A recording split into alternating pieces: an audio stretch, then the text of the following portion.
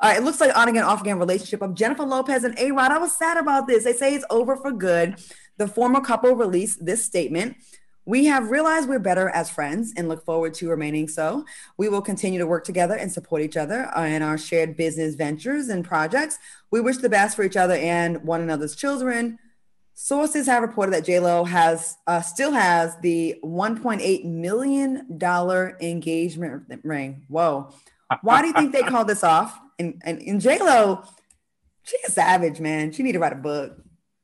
You know, I don't know why they called it off, but I'm going to tell you something. This is the first celebrity couple in a very long time that I've had an emotional investment in and I'm sad. Like I'm really sad. Like those mm-hmm. two looked good together. They had good energy. They looked like they had good sex. They both had good money. They had blended their children. And then, you know, I think I know them personally because I ran into them the kids at the mall. Here we go. Gables. That one time. I eat and shop with J Lo eat and shop. Y'all hoes get on my level. Nevertheless, nevertheless, I saw them. So now I feel like I know them.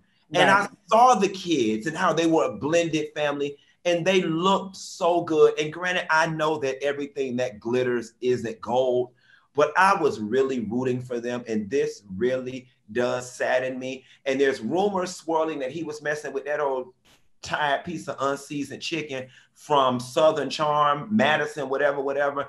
And she just looks like every run of the mill pretty hillbilly girl out there. And I hope like hell that he did not tarnish what he had with Jennifer Lopez for that. You know, a lot of times when guys have a woman like that, they it's almost like too much.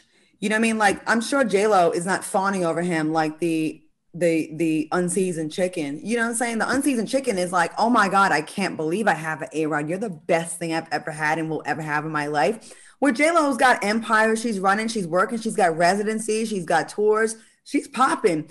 I remember a guy, like, I just remember talking to a friend of mine that said the reason why he kind of stepped outside his relationship was the other lady made him her everything because she had time and the Bosco mm. did not. Al, what do you think about this? I listen, I already told you guys what this was, and you guys just apparently don't listen. All right. if you don't remember, three years ago, the local judge in Florida reviewed the case on racketeering and embezzlement false tax documents, insurance fraud, and interstate wire fraud. A Rod is under, Alex Rodriguez is under extreme scrutiny right now. He is destined to owe back $50 million and a 30 years in jail is his ticket if he's proven to have committed all these things. Jennifer Lopez is not that woman. Okay.